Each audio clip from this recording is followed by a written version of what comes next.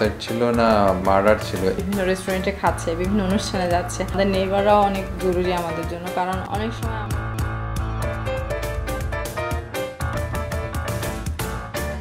স্বাগতম সবাইকে। বিশ্ব ডিরেকশনে আমরা চলে এলাম আজকে আপনাদের সঙ্গে একটি ভিডিও ট্রেলার শেয়ার করার জন্য।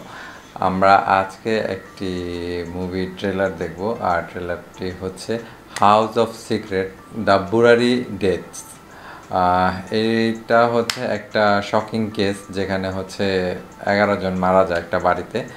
তো এই বিষয়টা নিয়ে হচ্ছে এই মুভিটা আর ডিটেলস আমরা আসলে ট্রেলারটা দেখলে কিছু বলতে পারব, আর পুরোটুকু হচ্ছে মুভি দেখলে। তো এই ভিডিওটি আমরা নিয়েছি নেটফ্লিক্স ইন্ডিয়া থেকে। আর ভিডিওর মধ্যে কি আছে এখনও জানি না। তো চলুন সবাই ভিডিওটি দেখে আসি।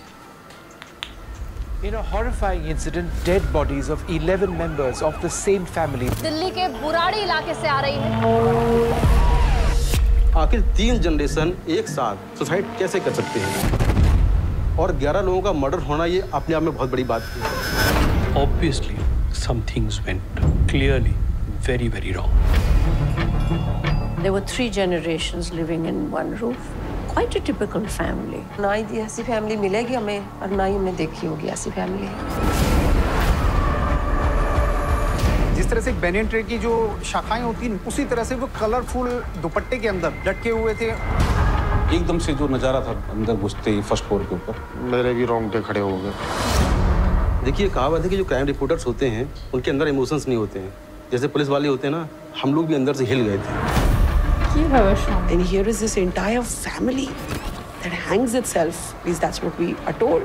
And we know literally nothing about it.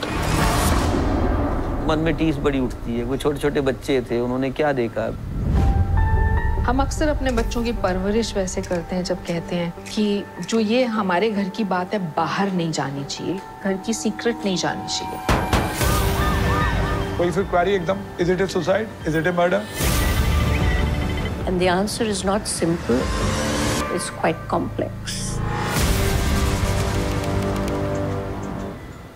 House of Secret আর এটা হচ্ছে বুরারি ডেট দ্যাটস মিন হচ্ছে বুরারি হচ্ছে জায়গার নাম হ্যাঁ। হ্যাঁ এবং সেই জায়গায় এই ঘটনাটি ঘটেছিল যেখানে হচ্ছে একটা বাসার এগারো জন মানুষ এবং সেটা হচ্ছে তিন জেনারেশনের ছিল তারা একসঙ্গে সুসাইড করে এবং এটা আসলে সুসাইড ছিল না মার্ডার ছিল, এইটাই ইনভেস্টিগেশন করবে পুলিশ আর এটা নিয়ে মূলত এই মুভিটি আর এটি আট তারিখে রিলিজ হওয়ার কথা অলরেডি আট তারিখে রিলিজ হয়ে গিয়েছে নেটফ্লিক্সে আমার কাছে মনে হচ্ছে যে এখানে ব্যাপারটা অরিজিনাল ঘটনাটাকে নিয়েই করা কিন্তু এটা কি এই মুভির মধ্যে অ্যাকচুয়াল সিচুয়েশনটা কি দেখিয়েছে কিনা বা ইনভেস্টিগেশনে কি পেয়েছেন তারা সেটা দেখিয়েছেন কিনা সেটা আমার কাছে জানার একটা আগ্রহ জন্মে গেছে হ্যাঁ সেটা তুমি যখন দেখে ফেলবে তখনই জানতে পারবে। হ্যাঁ আমার কাছে মনে হচ্ছে যে এক বিনা কারণে এতগুলা মানুষ একটা ফ্যামিলির মারা যাওয়ার কথা না বা তারা সুসাইড করার কথা না। হয়তো এক দুইজনের প্রবলেম থাকতে পারে কিন্তু